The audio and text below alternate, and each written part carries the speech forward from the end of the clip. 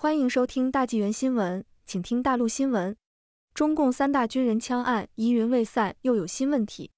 中共内部清洗的整军敏感期，网络热传一九九零年代北京军区一连长入京复仇惨案，而盘点过去，每隔十年都有类似事件，至少有三桩军人枪案传与社会问题关联，但由于当局封锁，疑云未散。现任中共党魁习近平整军力度极大，加上经济不好波及军队。军心不稳，当局虽然极力防范现役军人爆发枪案，但一旦时局有变，军院爆发是可怕的。卫戍区军官携步枪闯入北京城，射杀数十人。一九九四年九月二十一日，驻扎在通县的北京卫戍区三师十二团的中尉副连长田明建，用八一步枪、两百发子弹，在部队操场上打死团政委等几人，劫持汽车，打死几名平民，来到使馆区。大批军警赶到同田明建激烈交火。当时，伊朗驻华大使馆政务秘书尤素福·穆罕默德·皮什科纳里开车送孩子上学，被田明建开枪打死，四个孩子一死两伤。还有十七名路过的公共汽车乘客和骑自行车上班的人被打死。打死打伤几十人后，田明建被特警狙击枪手射杀。美国之音当时引述报道说。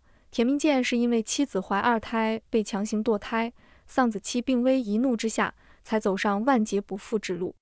但有官方媒体似乎有意从维稳的角度给了另一个版本，称田明建平时追名逐利，对下属随意打骂，还曾为升职向团部领导送礼，后因被停职反省，升迁无望，决意报复。相对而言，这个官方版本可信度极低。沈阳军区四士兵携枪出走，遭击毙。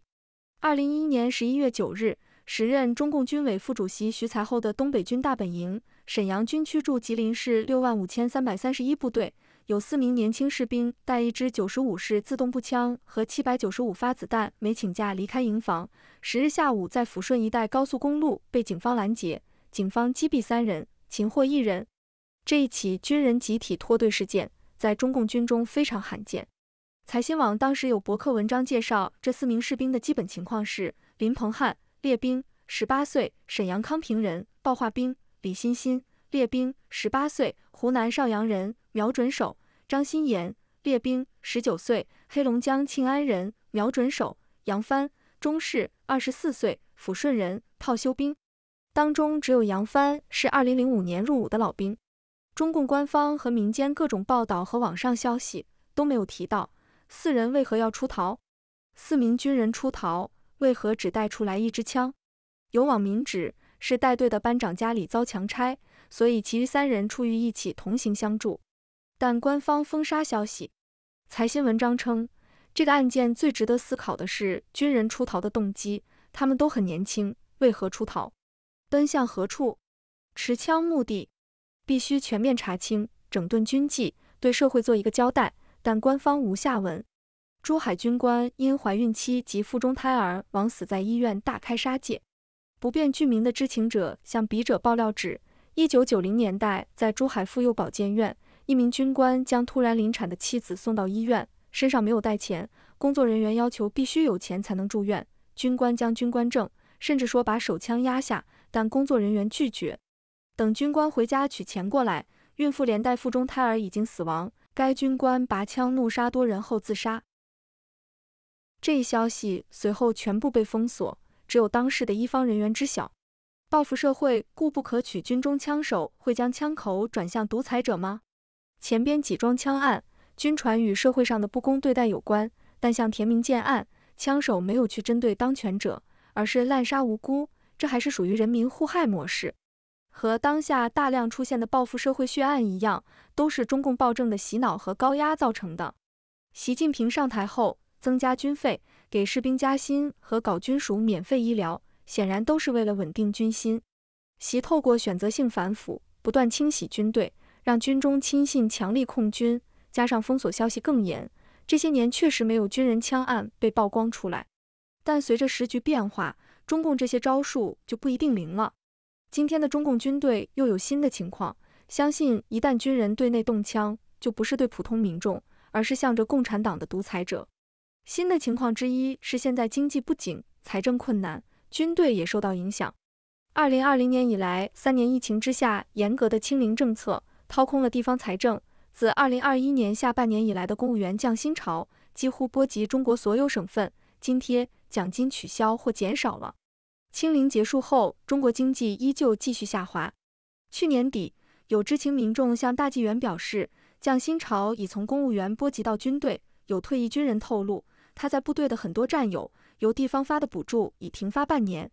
情况之二是中共内斗不止，习近平在第三任期对军队清洗多是秘密进行，只见军头被免职及免人大职务。在最近两会上被罢免的二十多人大代表中，有近一半是军方代表。这一方面表明贪腐不绝，另一方面或表明军中出现了许多对习不满的将领，包括习亲自提拔者也突然失踪。将领密集失踪，对军心肯定有影响。前中共海军中校姚成在社交媒体爆料说，受到清洗的火箭军军心散了，逾半数校尉军官想转业。中共军报早前也披露，军方在做火箭军基层思想工作，要听他们的真实心声。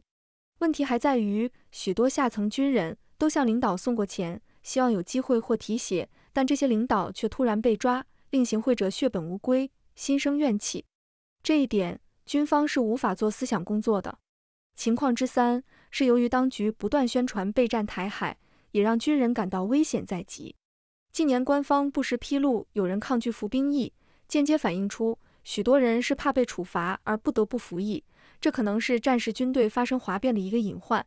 中共历来相信握紧枪杆子就能护党，习近平上台后更强调军委主席负责制，押保军队保自身安危。